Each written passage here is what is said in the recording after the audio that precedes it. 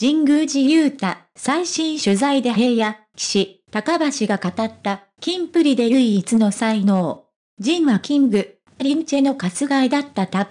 ご視聴ありがとうございました。素早く最新情報をもらえるように、チャンネル登録ボタンをよろしくお願いいたします。ありがとうございます。キー N、G、アンドプスから平野仕様、26、岸優太、27、神宮寺優太、25が脱退する5月22日まであと22日。翌23日からは長瀬廉、24、と高橋海人、24の2人体制となるが、3人の脱退を前に、テレビ、雑誌などの露出も一気に増えてきている。5人は4月25日発売の女性自身公文社のグラビアンジンタビューに登場。結成から約8年、デビューから約5年を迎えた今だからこそ語ることができるメンバーの魅力や個性を語っている。5人のキンプリの集大成のような大特集です。グラビアも美しく、長久保存版ピンナップもついていますので、ぜひ雑誌を手に取ってチェックしてほしいですが、その中でも特に注目なのは、メンバーが語っ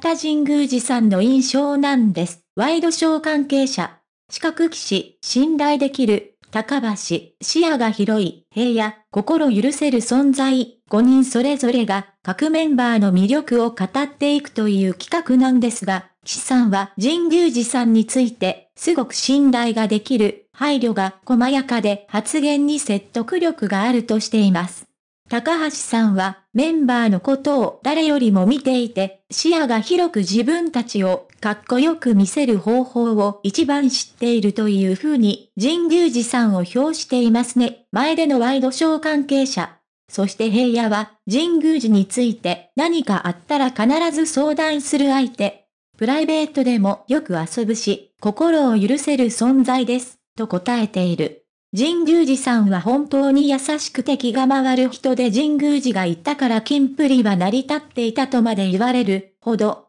メンバーの回答からもそれが伺えますよね。取材や撮影の時にも神宮寺さんはダントツの視野の広さを発揮していたんです。神宮寺さんを含め、金プリの5人はそれぞれ個性が強いですよね。平野さんは生まれ持ったスター肩着で、いい意味で空気を読まないタイプ。長瀬さんは孤高というか、マイペースなところがあります。ただ、彼らは基本的に超多忙なスケジュールを縫って収録や取材や撮影に対応している。誰も悪いわけではないのですが、そういった時には自分のことで手一杯になりがちですよね。全能。四角神宮寺は4人を現場に集中させてくれる、金プリでなくとも、タレントサイドは制作サイドがどういう意図、順番で取材や撮影を進めたいの駆け足したりということはあまりしないのが通常だ。そういう時にメンバーだけではなく現場のスタッフにも気をやってくれて次はこれをやる番ですか？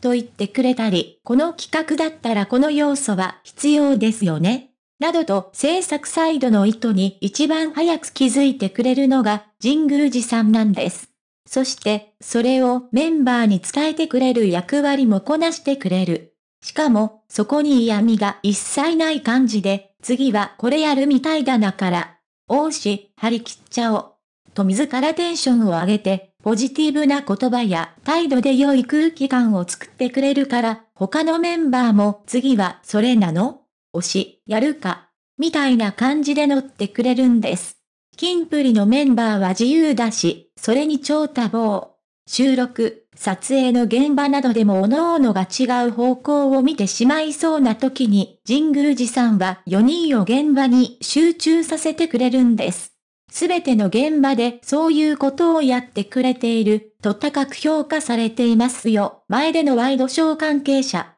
神宮寺はメンバーと制作陣をつなぐ春日や架け橋のような存在なのだろう。本当に視野が広くて心配りも細やかなのでバラエティ番組や情報番組の他彼らを取材するメディアも神宮寺さんには感謝でいっぱいなはずです。キンプリといえば、センターの平野さんが持ち前の強力な推進力で引っ張ってきたようなグループだと思われがちですが、最後には常に神宮寺さんがいたわけです。最後尾と言っても遅れているというわけではなく、裏のまとめ役、外部とのつなぎ役という重要な役割を担っていて、今回の女性自身のメンバーへのインタビューからもそれが伝わってきますよね。一緒に仕事をした人間はみんな神宮寺さんに感謝していますし、彼のことが大好きなはずです。キンプリの魅力がより広く伝わるのも彼のおかげだともっぱらですね。全能。